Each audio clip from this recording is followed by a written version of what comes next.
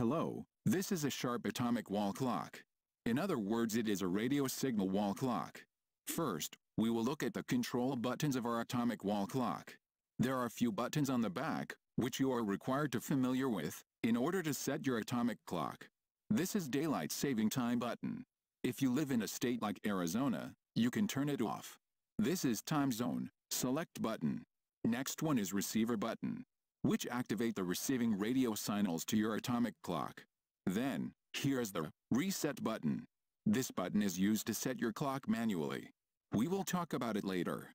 When you choose batteries, use alkaline batteries and never select previously used batteries.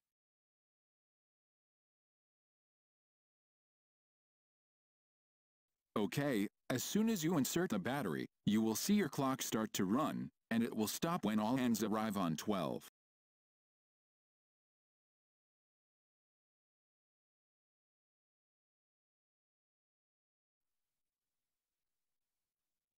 I will run the video fast to save your time.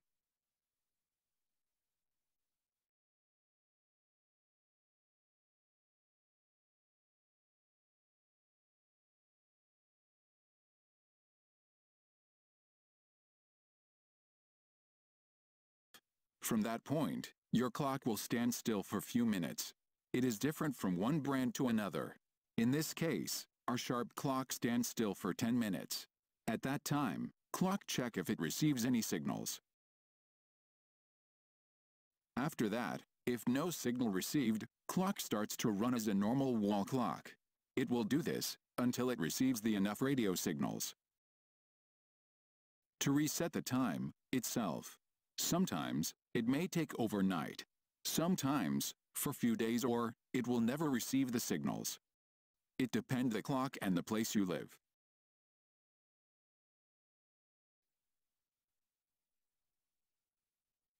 You can hang your clock and wait for it to set itself. However, it is not displaying the correct time until it receives the radio signals. That is why it is better to set your clock manually.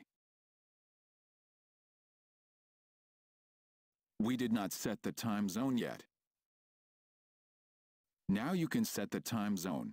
We will go ahead and select the time zone which match with our location.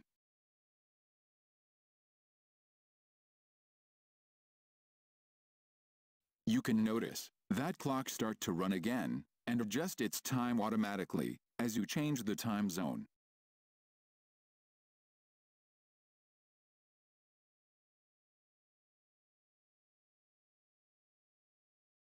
However, time is not accurate yet, right?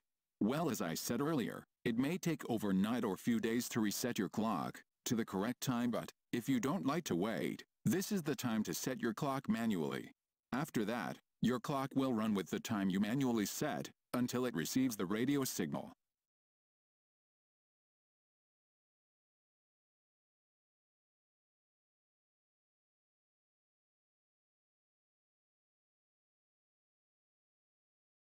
How to set the time manually.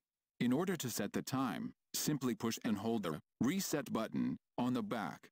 You will see clock hands start to move. Once your clock hands reach the correct time, release the reset button. That's all hang your clock on the wall now, and enjoy.